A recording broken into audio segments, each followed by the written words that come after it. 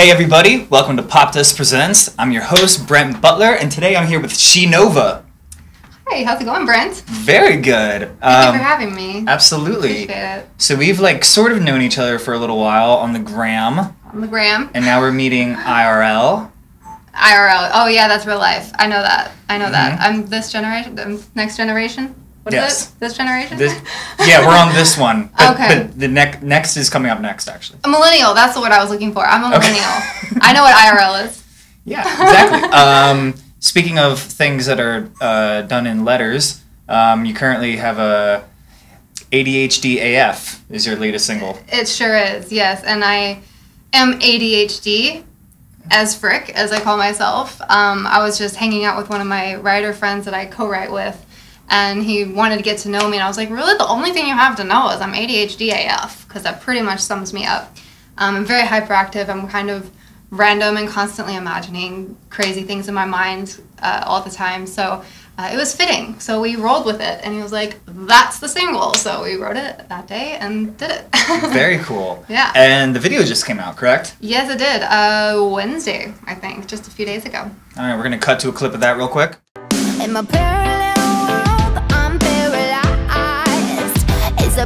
A blessing and a curse, but it's mine.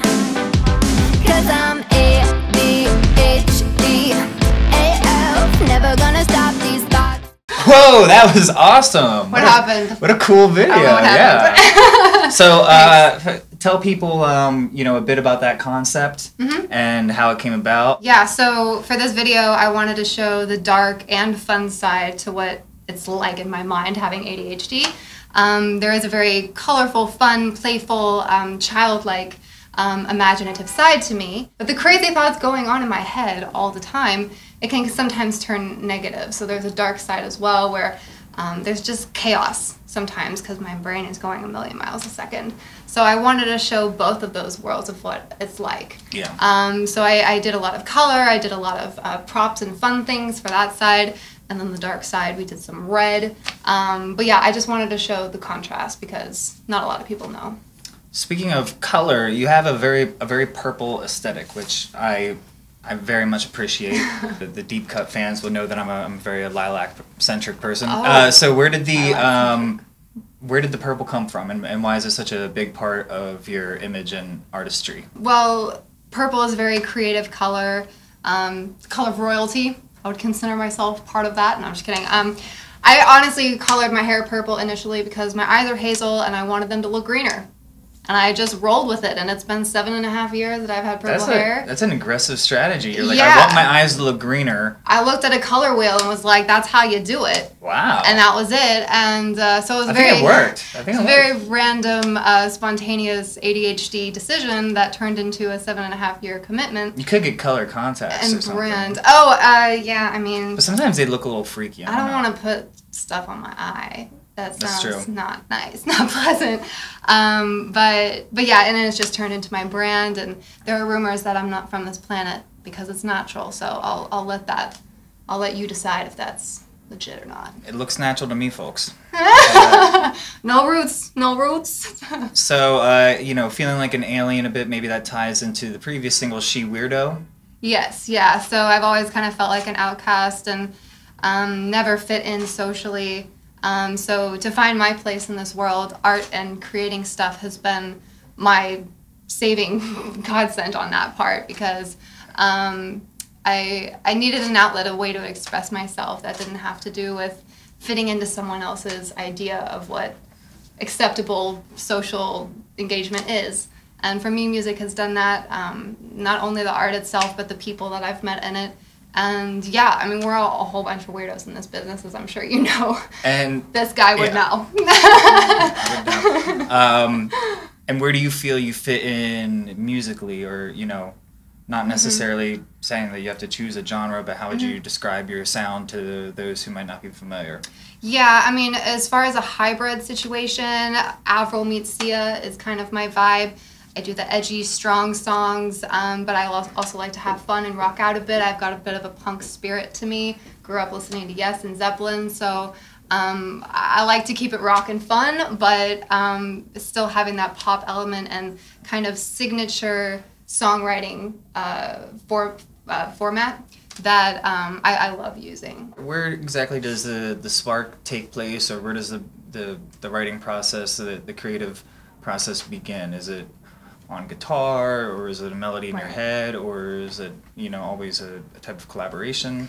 I mean, it's usually just as random as me. Um, I can be a song can spark from uh, pretty much anything uh, as long as there's some kind of um, purpose and and why I do what I do and who I am behind it. Um, it usually runs real fast, and I've got a song in, in, in 10 minutes or so just based off of a title idea or a chord progression. It just has to spark that purpose of why I do this.